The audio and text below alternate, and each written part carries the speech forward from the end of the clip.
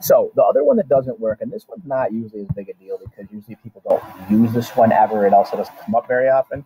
But angle, angle, angle. All right. This saying that I have three pairs of angles that are congruent to three pairs of angles.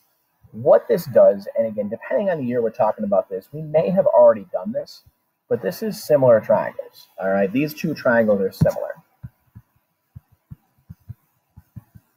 Meaning they're the same shape, but they're different sizes. When I know that the angles are the same, that is enough to tell me that the triangles are similar, but not that they're congruent. This is pretty simple to understand. It's like taking something on a copier and just making it larger. The angles and stuff will all be the same, all right, but the sides will not. Same thing as a scale model. If you have a scale model of something, a map, anything like that, those are all similar things. They're just not congruent.